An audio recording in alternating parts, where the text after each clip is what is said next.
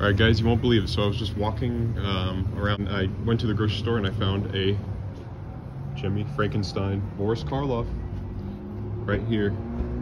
Can't believe it, guys. See? Right there. Wow. Absolutely crazy.